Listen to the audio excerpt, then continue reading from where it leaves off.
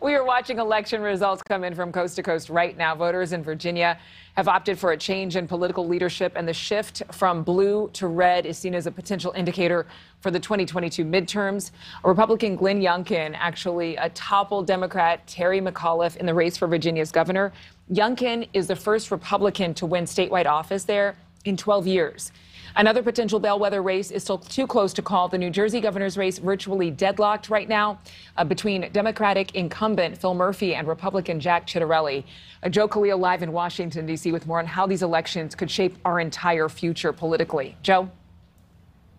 Yeah, that's not understated, Adrian, especially when you consider in 2022 how many races are going to happen in swing states and in swing districts. Party leaders certainly looking at these races now uh, as an indicator as to what might happen in the 2022 midterms. And if you're Republicans, uh, Glenn Youngkin winning last night in Virginia is certainly a big momentum boost, a shot in the arm uh, for sure. Democrats, on the other hand, they're already contending with history being against them. Typically, when one party wins the White House, they tend to drop off uh, in the next midterm election. So Democrats are hoping this is just uh, sort of uh, one moment that they can get over, a snapshot.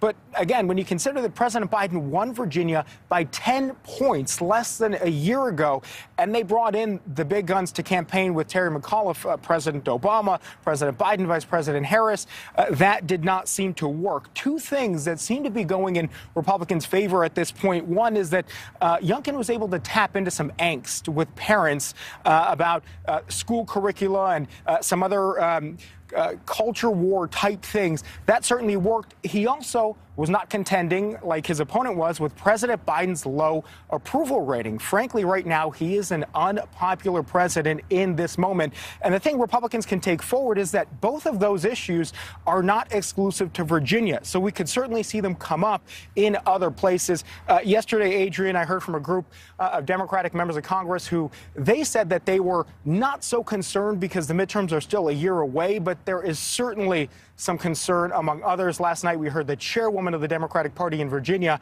say that Democrats on the other side of the river, meaning here in uh, Washington, D.C., certainly need to be paying attention and learning lessons from these races. Thank you so much for watching. Make sure to click on the red subscribe button below so you can get more of News Nation's fact driven, unbiased coverage.